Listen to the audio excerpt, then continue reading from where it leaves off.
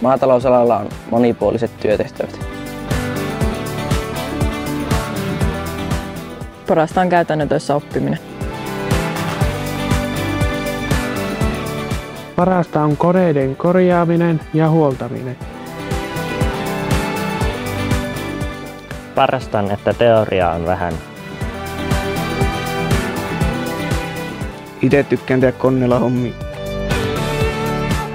Eläintenhoitajan työssä parasta on eläimet.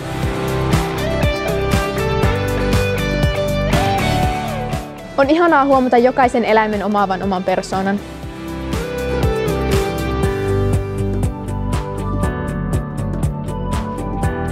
Osao. Kaikki on mahdollista.